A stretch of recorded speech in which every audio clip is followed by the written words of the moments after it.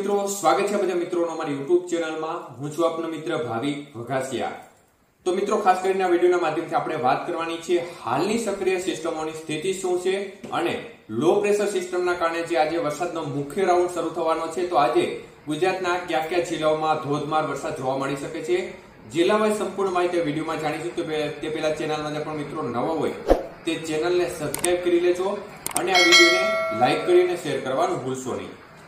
તો મિત્રો, હાલની સક્રિય સિસ્ટમોની સ્થિતિ જોવા જઈએ તો ચોમાસું ધારી છે તે હવે આવતા દિવસોમાં દક્ષિણ દિશા તરફ સરકવાની શક્યતાઓ દેખાઈ રહી છે અને હાલની સ્થિતિ પ્રમાણે ચોમાસું ધારી પંજાબના ગંગાનગરથી પસાર થઈ રહી છે. ત્યારબાદ હિસાર મિરુદ ગ્વાલિયર, જબલપુર, રાયપુર થઈ અને ખાસ કરીને ઓડિશા અને લાગુ આંધ્રપ્રદેશના ભાગો પર જે લો પ્રેશર સિસ્ટમ છે, ત્યાંથી થઈ અને બંગાળની ખાડીના ભાગો સુધી જઈ રહી છે.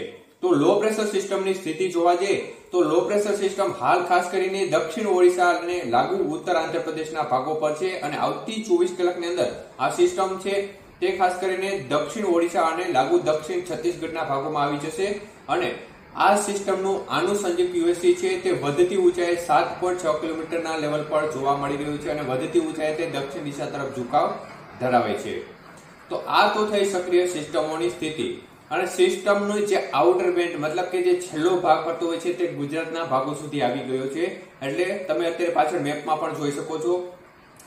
તો ખાસ કરીને આજે જે વરસાદનો મુખ્ય રાઉન્ડ છે, આ લો પ્રેશર સિસ્ટમના કારણે તે શરૂ થવાની શક્યતાઓ રહેલી છે અને આના પરિણામે આજે ગુજરાતના ક્યાં ક્યાં જિલ્લાઓમાં ધોધમાર વરસાદ જોવા મળી શકે છે તે વિશેની વાત કરીએ તો ખાસ કરીને દક્ષિણ ગુજરાતની વાત કરીએ તો દક્ષિણ ગુજરાતમાં તાપી, નર્મદા, સુરત ભરૂચ આજુબાજુના વિસ્તારોમાં ઝાપટાથી માંડી હળવો મધ્યમ વરસાદની શક્યતાઓ આવતી ચોવીસ કલાકની અંદર દેખાઈ રહી છે, જ્યારે સુરત વાપી, વલસાડ, દમણ, દાદરા નગર હવેલી સહિતના વિસ્તારો છે. તેમાં પણ બપોર બાદ વરસાદની ગતિવિધિમાં વધારો થઈ અને આવતીકાલ સવાર સુધીમાં આ વિસ્તારમાં પણ ઝાપટાથી હળવો વરસાદની શક્યતાઓ રહેલી છે. સીમિત વિસ્તારમાં મધ્યમ વરસાદ પણ જોવા મળી શકે છે. તો એકંદરે દક્ષિણ ગુજરાતના ભાગોમાં વરસાદની ગતિવિધિમાં વધારો થશે.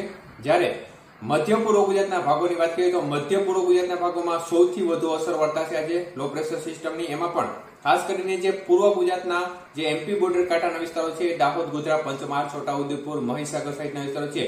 આ વિસ્તારમાં ઝાપટાથી હળવો મધ્યમથી ભારે વરસાદ આવતી ચોવીસ કલાકની અંદર જોવા મળી શકે છે.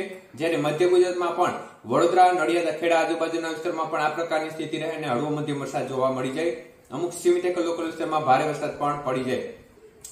તો વાત કરીએ મધ્ય ગુજરાતના બીજા વિસ્તારોમાં, તો અમદાવાદ, આણંદ સાઈડ આજે ખેડા સાઈડના વિસ્તારો છે, ગાંધીનગર આજુબાજુના વિસ્તારો છે. ત્યાં પણ આજે ઝાપટા હળવા વરસાદની શક્યતાઓ આવતી ચોવીસ કલાકની અંદર દેખાઈ રહી છે. તો સૌરાષ્ટ્રના ભાગોમાં પણ વરસાદની ગતિવિધિમાં વધારો થવાની સંભાવનાઓ રહેલી છે. અને સૌરાષ્ટ્રના ભાગોની વાત કરીએ, તો અમરેલી, ભાવનગર, ગીર સોમનાથ, જુનાગઢ, બોટાદ, સુરેન્દ્રનગર અને રાજકોટ જિલ્લાના ભાગો છે.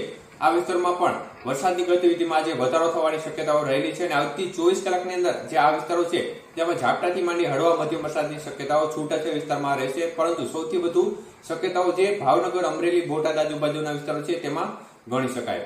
જ્યારે બાકીના જિલ્લાઓમાં પણ વરસાદની ગતિવિધિ તો જોવા મળશે. બપોર બાદ આજે સૌરાષ્ટ્રના અનેક વિસ્તારમાં પણ સારો વરસાદ જોવા મળશે. તો આવતી ચોવીસ કલાકની અંદર દ્વારકા, પોરબંદર, જામનગર, મોરબી સહિતના વિસ્તારમાં પણ વરસાદની ગતિવિધિ જોવા મળશે અને ત્યાં પણ છૂટાછવાયા ઝાપટાથી હળવા વરસાદની શક્યતાઓ રહેલી છે. સીમિત એકલોકલ વિસ્તારમાં મધ્યમ વરસાદ પણ જોવા મળી જાય જેમાં રાજકોટને લાગુ છે, જામનગર જિલ્લાના વિસ્તારો છે, એમાં વરસાદની શક્યતાઓ વધુ દેખાઈ રહી છે. તો ખાસ કરીને મધ્ય પૂર્વ ગુજરાતના ભાગોમાં વરસાદની ગતિવિધિ સારી મળશે, પરંતુ ખાસ કરીને ઉત્તર ગુજરાતની વાત કરીએ, તો ઉત્તર ગુજરાતમાં જે મધ્ય પૂર્વ ગુજરાતને લાગુ ઉત્તર ગુજરાતના જિલ્લાઓ છે, એમાં ખાસ કરીને ખેડ, બ્રહ્મા, ઈડર, આબુ સાઈડના વિસ્તારો છે, સાબરકાંઠા, મહેસાણા, પાલનપુર સાઈડના વિસ્તારો છે. આ વિસ્તારમાં પણ ઝાપટાથી માંડી હળવા મધ્યમ વરસાદની શક્યતાઓ આવતી ચોવીસ કલાકની અંદર ગણી શકાય. જ્યારે બાકીના ઉત્તર ગુજરાતના ભાગો છે, તેમાં પણ છૂટાછવાયા રેડા ઝાપટાનું પ્રમાણ જોવા મળી શકે છે.